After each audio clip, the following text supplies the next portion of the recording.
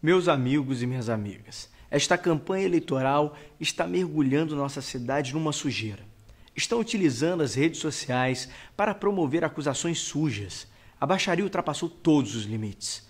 Pessoas ligadas ao vereador Rafael Diniz me agridem, assim como agridem a minha família. Isso é lamentável.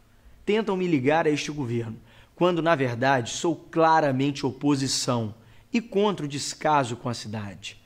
Eles praticam a falta de educação. Cumprimentar adversários não significa concordar com suas ideias. Isso não compromete minhas convicções.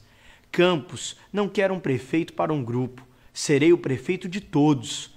Estamos numa campanha eleitoral. Não podemos transformar uma disputa numa guerra suja.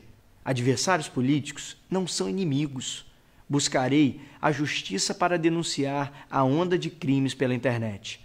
Quanto à gritaria, vamos com propostas. Contra o ódio, vamos com amor.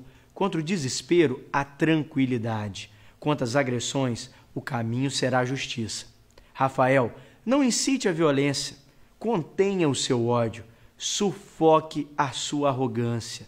Vou continuar fazendo uma campanha limpa. No dia 2 de outubro, vote Caio Viana, vote 12 e Campos vai voltar a sorrir.